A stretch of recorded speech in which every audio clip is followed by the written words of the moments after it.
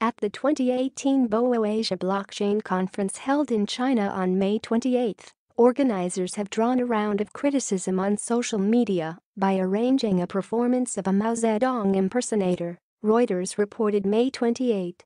During the conference, an actor dressed in a gray Mao suit gave a speech in a style of the chairman, wishing success to the audience in an accent from Mao's birth province of Hunan.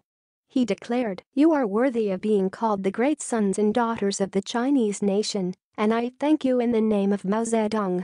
Social media users reacted immediately, with some of them saying the shameful disrespect to the Chinese founding father could harm the future of blockchain in China.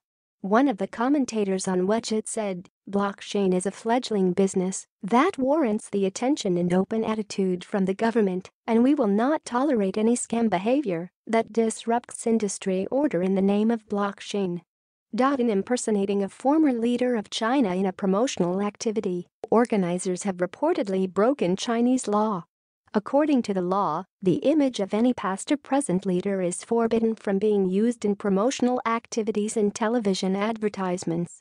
According to the State Administration for Industry and Commerce, actors are forbidden from using the image of a leader to promote a good or service. The organizers of the conference apologized for the performance Recently, the blockchain industrial park in the eastern Chinese city of Hangzhou announced millions of dollars of subsidies for startups, hoping to attract highly qualified blockchain specialists. Startups will also be able to avail themselves of maintenance grants alongside project-specific funding. However, according to the China Academy of Information and Communications Technologies report, only 8% of the blockchain projects ever launched are still alive, with an average lifespan of just 15